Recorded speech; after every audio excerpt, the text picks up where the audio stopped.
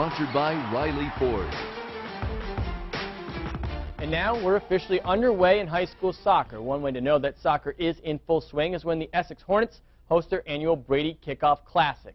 Not only does it bring together some of the best teams in the state, but helps propel those said teams to the state playoffs and even sometimes the state title game. The Hornets welcoming the Rice Green Knights in the nightcap of the tournament. First half where they started, we would as well. Eric Lempier with the corner kick off the head of Danilo Salgado, right to the foot to captain Braden Nielsen with the volley. Help from the defender makes it 1-0. 20 minutes later, Nathan Miles with the fancy footwork weaves through the defenders, beats the keeper near post.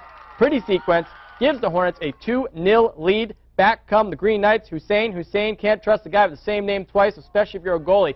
Can't get to it. That's good for the goal. Gets Rice on the board at 2-1. Less than three minutes later, Nielsen answers back with a long ball of his own.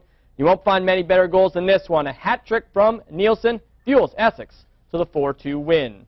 The opening game of the Classic featured defending state champions CVU and Rutland. The Red Hawks proved that they are hungry for another title again this year. Elliot Mitchell goes far post, good for a 4-0 lead early on. Under five minutes of play in the half, Brandon O'Connell with the goal kick, flicked by a fellow Red Hawk, and Shane Hanlon takes it from there, off and running, blows past four defenders, goes the length of the field, one-on-one -on -one with the keeper. He wins that battle, buries it 5-0 CVU, rolling in the first half, and they weren't done yet. Less than a minute later, Zach Akey, the redirect in front, makes it 6-0. Akey had the final three goals of the first half.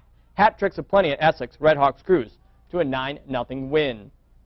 Section 7 Class B action, Peru and Plattsburgh. Colliding tonight, Mike Stetz not giving up any ground in the box, although second half tied at one. Stetz in a little bit of trouble trying not to give up the goal. Jacob Dick crossing pass, but no one's there to put it home. Game stays tied at one. Ten and a half to play in regulation.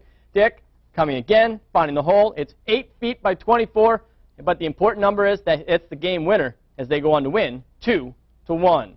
Girls soccer, the Class D championship rematch from a year ago, which had E-Town Lewis knocking off Chazy, the top seed, late first half, one nothing Eagles. Emma Disagra able to make the save, one of 13 in the game. Rachel Pombrio gets points for clearing the keeper, but not actually on the scoreboard. Second half, same score, ball bouncing around. The header doesn't go. Amber Polomsky able to clean up the mess, though. 2-0 Chazy. They tack on another for the trifecta, and they win the grudge match 3-0.